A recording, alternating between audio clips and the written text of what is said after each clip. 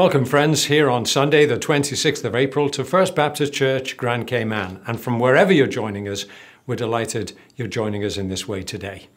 This is what the Word of God says in Isaiah chapter 44. This is what the Lord says Israel's King and Redeemer, the Lord Almighty. I am the first and I am the last. Apart from me, there is no God. Who is like me? Let them proclaim it. Let them declare and lay out before me what has happened since I established my ancient people, and yet what is to come. Yes, let him foretell what will come. Do not tremble. Do not be afraid. Is there a God beside me? I know not one. Join us in a word of prayer. Lord, we thank you for this, the day that you've made. Help us now as we join with our songs of worship, joined by our choir, to indeed join the strains of heaven's worship of you, the true and the living God, through Jesus Christ our Lord. Amen.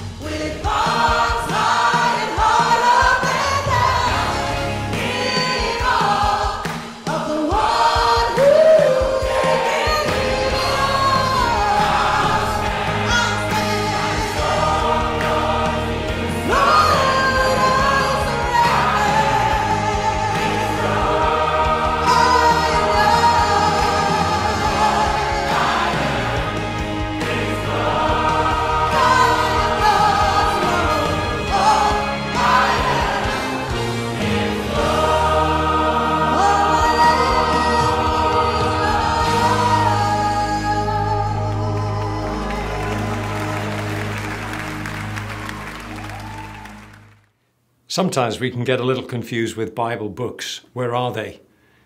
Even when somebody says, well, why don't we turn to the book of Hezekiah? And then we feel like an idiot to discover that Hezekiah isn't a book, he was a king. But you'll have no problems, no matter how unfamiliar you are with the Bible, in finding our reading today. For it's taken from the very last book in the Bible, the book of Revelation. And we're in the first chapter and at the ninth verse. And this is what the word of the Lord says. I, John, your brother and companion in the suffering and kingdom and patient endurance that are ours in Jesus, was on the Isle of Patmos because of the Word of God and the testimony of Jesus. On the Lord's day, I was in the Spirit, and I heard behind me a loud voice like a trumpet, which said, Write on a scroll what you see, and send it to the seven churches to Ephesus, Smyrna, Pergamum, Thyatira, Sardis, Philadelphia, and Laodicea. I turned around to see the voice that was speaking to me. And when I turned, I saw seven golden lampstands. And among the lampstands was someone like a son of man, dressed in a robe reaching down to his feet, and with a golden sash around his chest. His head and hair were white like wool, as white as snow, and his eyes were like blazing fire. His feet were like bronze glowing in a furnace, and his voice was like the sound of rushing waters. In his right hand he held seven stars, and out of his mouth came a sharp, double edged sword. His face was like the sun shining in all its brilliance. When I saw him, I fell at his feet as though dead. Then he placed his right hand on me and said, Don't be afraid. I am the first and the last. I am the living one. I was dead, and behold, I'm alive for ever and ever, and I hold the keys of death and Hades. Write therefore what you have seen, what is now, and what will take place later. The mystery of the seven stars that you saw in my right hand and of the seven golden lampstands is this. The seven stars are the angels of the seven churches, and the seven lampstands are the seven churches. This is the word of the Lord. Thanks be to God for his word. Amen. Well, welcome, friends. This morning I want to turn you to a small island. In fact, our theme this morning is Jesus from a small island. And I imagine a number of us are thinking, oh, do you mean Grand Cayman or Little Cayman or even Cayman Brac? No, the island I have in mind is the one we read about earlier in our service from Revelation chapter 1 is when the Apostle John is on the Isle of Patmos. He tells us, for the Word of God and the testimony of Jesus. The Isle of Patmos is about 13 square miles, around the size of Cayman Brac. It's a small island with a population probably around the size of Cayman Brac as well. And today we have, if you like, in the book of Revelation, notes from a small island. What I'd like to do this morning with you as we turn to Revelation chapter 1 is to just dig out some facts that we probably are very familiar with, but we need reminding of constantly. John was on the Isle of Patmos not because he was quarantined or in voluntary isolation, because he was somehow or other having to face a first century equivalent of COVID 19. He was there, he tells us, because of the Word of God and the testimony of Jesus. What does that mean? Well, we do know that the Isle of Patmos was a place where the Roman Empire could regularly banish some of its criminals to. They could sweat out some of their days in the ore mines there. And in all seriousness, it looks like that's precisely why John was there. We have a phrase for prisoners in the United Kingdom detained at Her Majesty's pleasure. Well, John is detained at His Majesty's pleasure. He's in a position and in a situation he would, I imagine, never have chosen for himself. How much better to be back with his friends and his family and his church and his ministry in Ephesus. But here he is on this little Aegean island, seemingly in the middle of nowhere. And yet he's there, and while he's there, the Lord Jesus comes and gives us this wonderful, fascinating, and oftentimes for many folk, confusing book of Revelation. So here's John in a situation he would not have chosen for himself, in a place that he probably did not want to be. But it was there the Lord met with and spoke to him. And I suspect many of us today, because of coronavirus, are in different forms of lockdown, quarantine, isolation, banned, as it were, to our homes, maybe finding it difficult living so close to close family hour upon hour, needing a little bit more of elbow room, perhaps almost feeling because of age and ill health, imprisoned, like John almost certainly was. But I want to remind you that it was in that unlikely situation that God met him. And I believe in whatever Patmos you are in today, God wants to meet you as well. You see, the Lord Jesus is never bound by human decisions. He's, he's never in a place where, well, you know, he couldn't possibly visit there. And John is visited by the living Lord. What's happening worldwide at the moment? Well, at one level, you might say this is God's pressing the pause button on human life and history as we know it. People are already saying things will never be the same again. And this is a time when God has almost said, Stop, listen, I have things to say to you that you may not hear otherwise.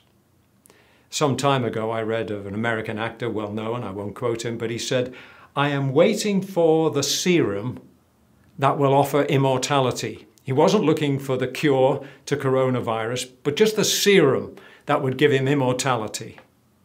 Well, I'm so delighted that we have this wonderful book of Revelation because here we find not the serum, but the Savior who gives us immortality.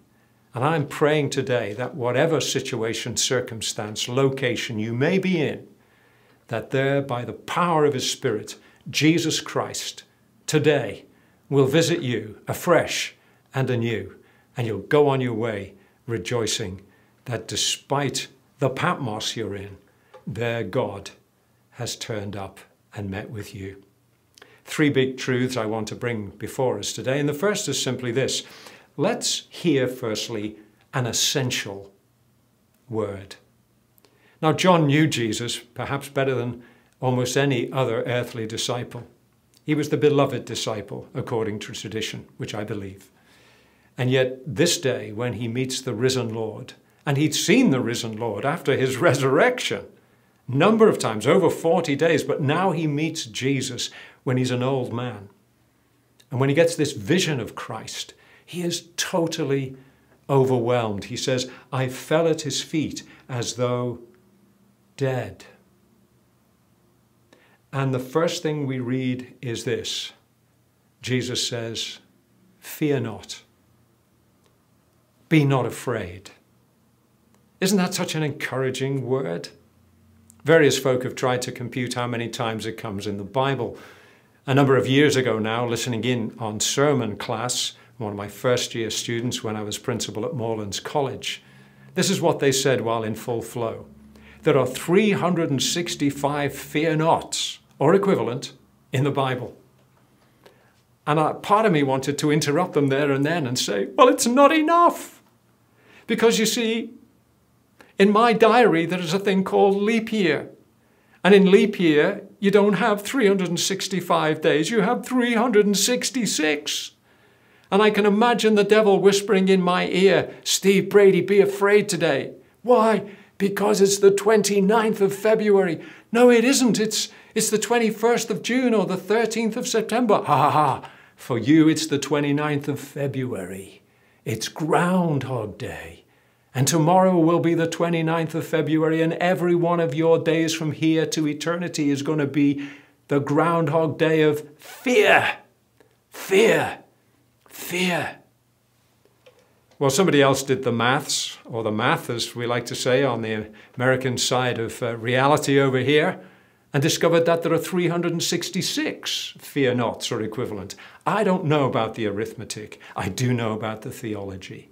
Jesus says, Fear not. What is it you're fearful of today? What is it you're facing? What, what is the problem? Whatever it is, Jesus Christ comes and says, Coronavirus, fear not. Wars and rumors of wars, fear not. Old age, losing your job, dysfunctional family, depressed by the circumstances you're in, the Lord Jesus comes and he says, Stop being afraid. For when he is there, no matter what we're facing, even death itself, all is ultimately well.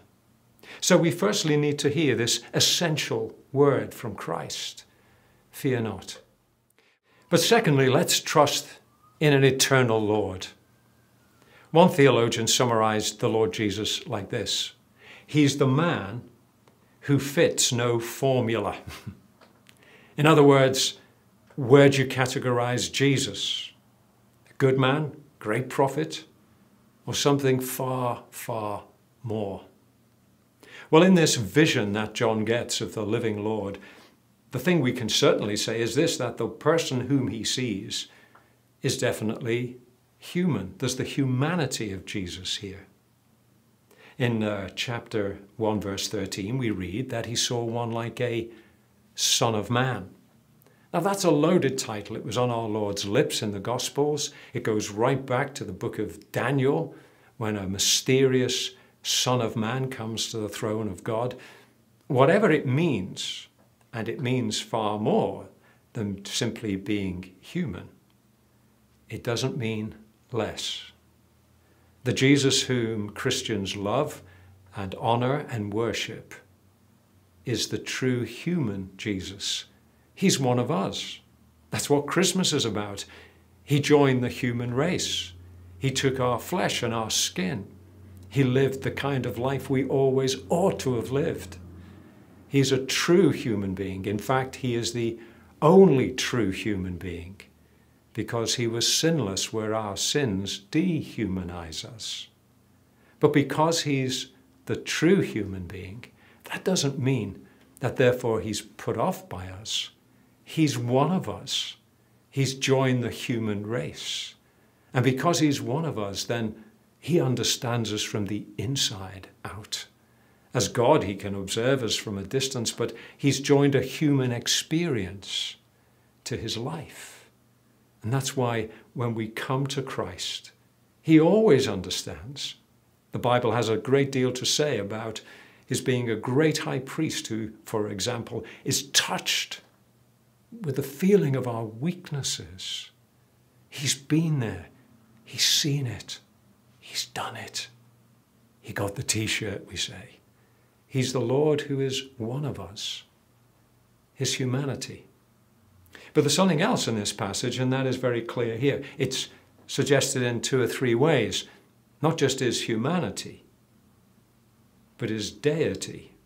For example, in verse 14, we're told his head and his hair were white like wool, and that also reaches back to Daniel chapter 7. And the one whose head and hair are white like wool is none less than the Almighty God. And as we draw our breath from that, we're told that he is, verse 18, the living one. The God of the Old Testament, the God of Scripture, is the living God. The living God. And Jesus says, I'm the living one. And specifically, he says, verse 17, I am the first and the last. Echoing those words we read at the beginning of our service from Isaiah chapter 44. The great Yahweh, the eternal God says, I am the first and I am the last. And Jesus takes that title here because of who he is. In speech, first and last is what we call a merism. M E R I S M. It's not a well known word. But a merism is when you put extremities and then you include things in between. So, for example, heaven and earth, east and west, first and last.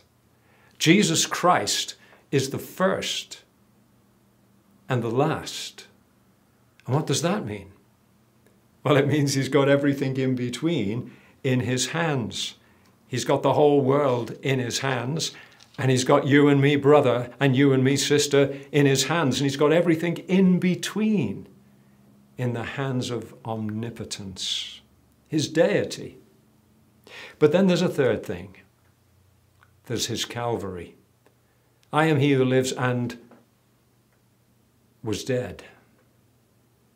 The Saviour we worship truly died.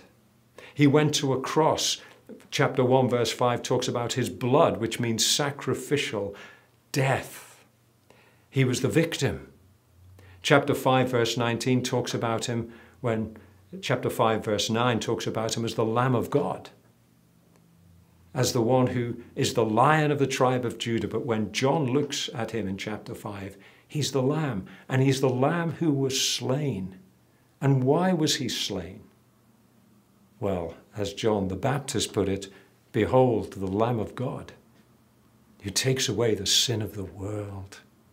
There on the cross, Jesus Christ made one great full atonement for sin. The word atonement means at one meant. Forgiveness with God, welcome. How can that be? Well, because the Lord has laid on him the iniquity of us all. There in the Garden of Tears, my heavy load he chose to bear. His heart with sorrow was torn. Yet not my will, but yours, he said. This is our God, the servant king. He calls us now to follow him. And this one also who was pierced for our transgressions, as Isaiah 53 has it, who's borne in his own body our sins, is the victorious Lord. His humanity, his deity, his Calvary, and his victory. I am he who lives and was dead. And behold, I'm alive for ever and ever. He's conquered death. What's my biggest problem? Well, facing the judgment of God. And that's been dealt with in Christ. What's my next biggest problem? The final enemy, death. The statistics on death, as we know from George Bernard Shaw and from human experience, are most impressive. One out of one people die. But Jesus Christ, here's the difference. He, we die, and it seems to be it. He died and now he lives. And because he lives, then when we trust him, ultimately we shall never die. He's conquered the grave. He's the risen Lord. Christ being raised from the dead will never die again. Those of you who are fans of J.R.R. Tolkien's The Lord of the Rings, or you've seen the films, will know all about Gandalf Gandalf the Grey, the wizard. and he has an upper and a downer with the Balrog. And uh, both of them seem to die uh, in the mountains of Moria. And eventually he comes back. And he's no longer Gandalf the Grey. He's now something more splendid. He's Gandalf the White. The story of a kind of resurrection, correct? Well, yes, of course, but it's only fiction. We don't go round singing, Gandalf loves me, this I know, for the Lord of the Rings tells me so, unless you want to get your head examined. But we do sing, Jesus loves me, this I know, for the Bible tells me so. And how can he love me if he's dead and gone? Well, the answer is he isn't dead and gone. He's conquered the grave. He's the risen Lord. He says, I am he who lives and was dead. And behold, I'm alive for how long? Ever and ever. Here's the risen Lord in the midst of John's small island, coming to him And I pray coming to you and meeting you and speaking to you and transforming despair into hope and that chaos inside to the very peace of God.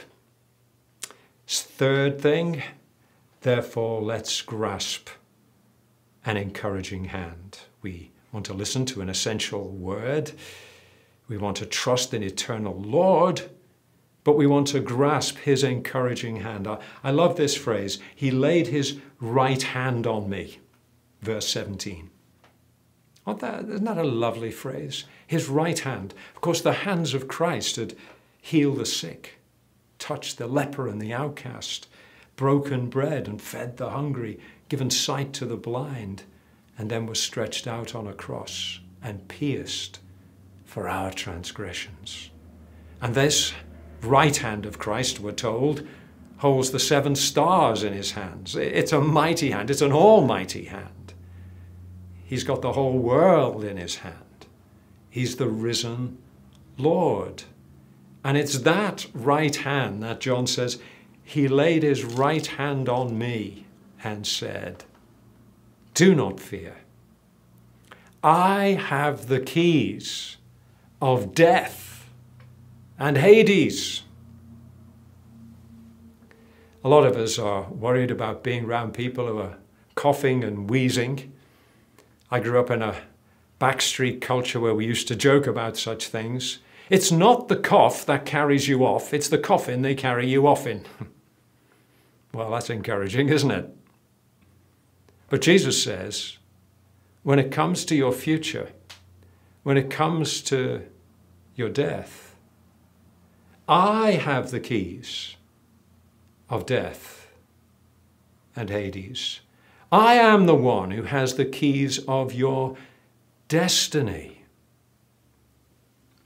Some of you may recall uh, one of my uh, stories from oh, 15 or more years ago, coming home late one night from the university of which we were a part.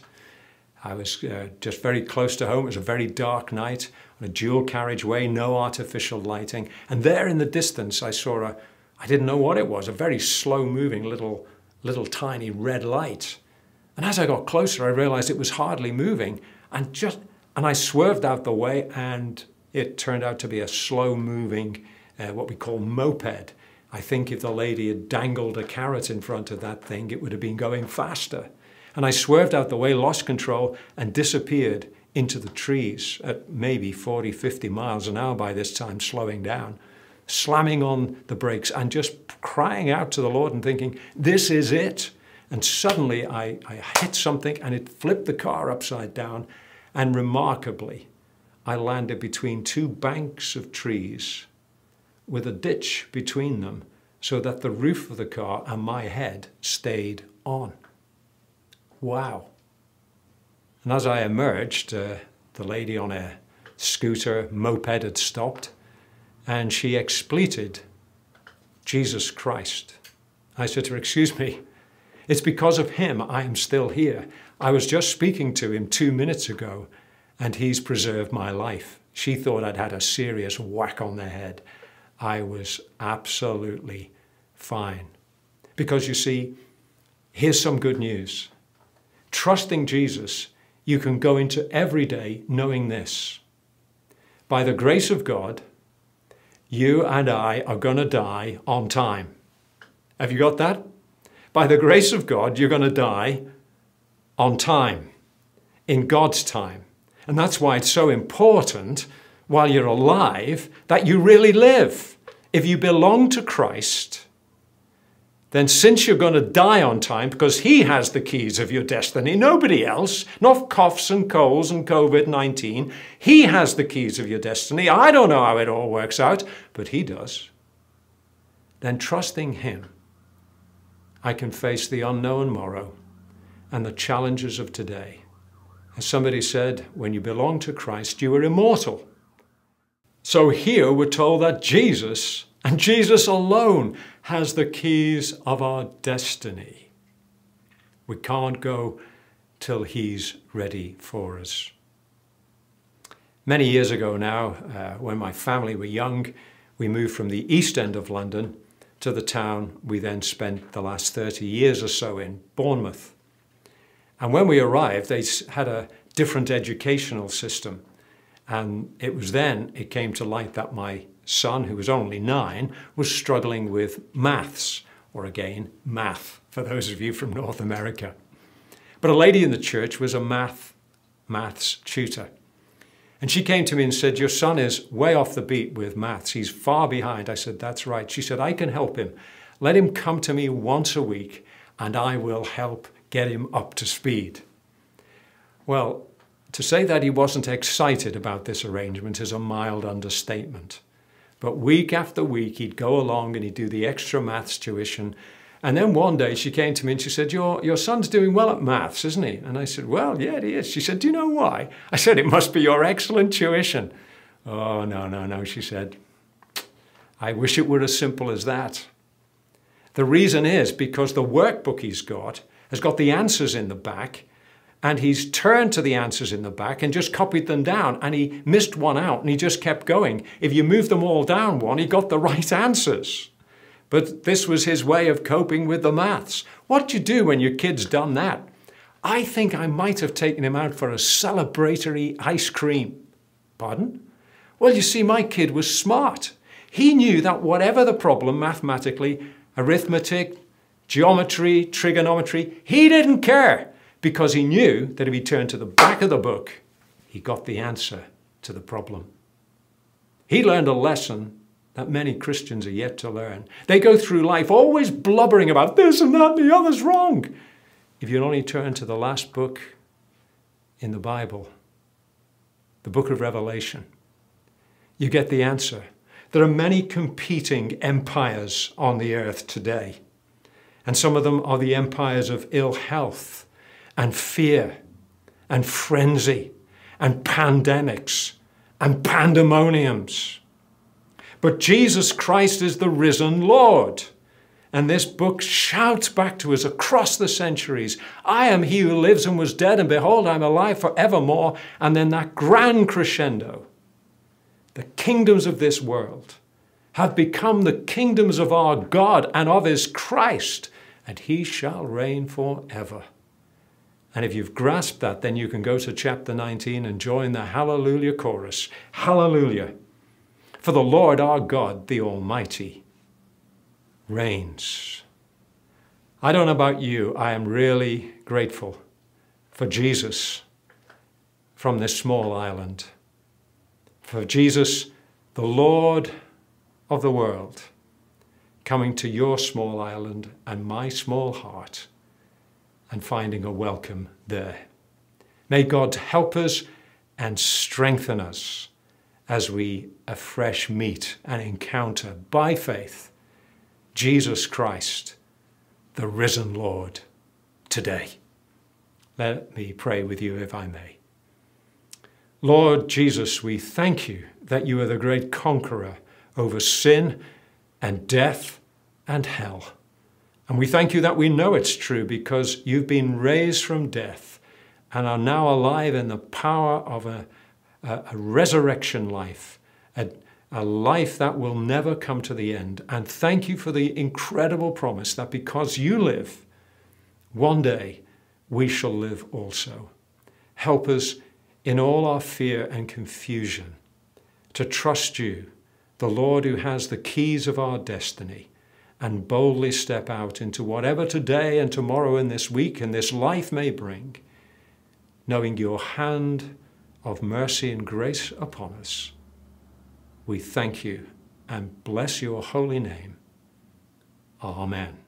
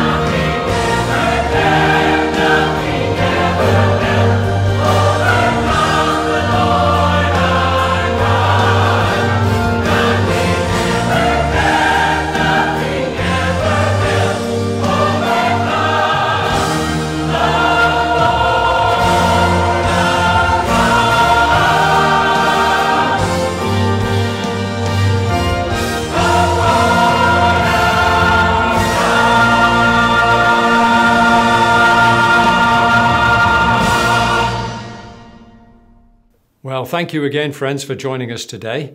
Please feel free to join us daily as we have a thought for the day from First Baptist Church, and we look forward to being in touch in the coming days and weeks too. May God bless you, and may the risen Lord light your path by the power of his Holy Spirit.